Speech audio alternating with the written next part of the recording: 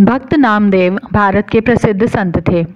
इनका जन्म 1270 में महाराष्ट्र के सतारा ज़िले में हुआ था और इनकी मृत्यु 1350 में 80 वर्ष की उम्र में हुई। इनका परिवार भगवान विठल का परम भक्त था। संत नामदेव ने विसोबा खेचर को गुरु के रूप में स्वीकार किया था और ये संत ज्ञानेश्वर के समकालीन थे और उम्र में उनसे पाँच साल बड़े थे। संत नामदेव, संत ज्ञानेश्वर के साथ पूरे महाराष्ट्र का इन्होंने भ्रमण किया। भक्ति गीत रचे और जनता जनार्दन को समता और प्रभु भक्ति का पाठ पढ़ाया।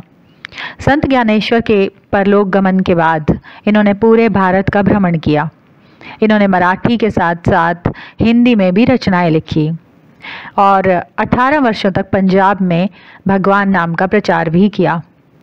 अभी भी इनकी कुछ रचनाएँ सिखों की धार्मिक पुस्तकों में मिलती हैं। आज मैं इन्हीं की एक कथा सुनाने जा रही हूँ आपको। एक दिन नामदेव जी के पिता किसी काम से बाहर जा रहे थे।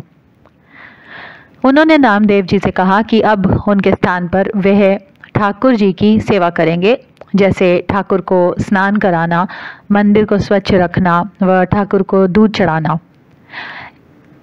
जैसे सारी मर्यादा मैं पूर्ण करता हूँ, वैसे तुम भी करना। देखना, लापरवाही या आलस्य मत करना, नहीं तो ठाकुर जी नाराज़ हो जाएँगे। नामदेव जी ने वैसा ही किया, जैसे पिताजी समझा कर गए थे।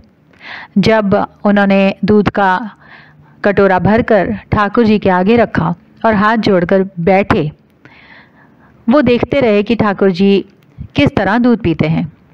ठाकुर ने दूध कहाँ पीना था? वो तो पत्थर की मूर्ति थे। नामदेव को इस बात का पता नहीं था कि ठाकुर को चम्मच भरकर दूध लगाया जाता व शेष दूध पंडित पी जाते थे। उन्होंने विनती करनी शुरू की, हे प्रभु, मैं तो आपका छोटा सा सेवक हूँ, दूध लेकर आया हूँ, कृपा करके इसे ग्रहण कीजिए।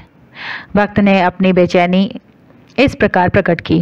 उन्होंने कहा, हे प्रभु, ये दूध मैं कपला गाय से धोकर लाया हूँ। हे मेरे गोविंद, यदि आप दूध पी लेंगे तो मेरा मन शांत हो जाएगा, नहीं तो पिताजी नाराज़ होंगे। सोने की कटोरी मैंने आपके आगे रखी है। पीजिए, दूध पीजिए प्रभु।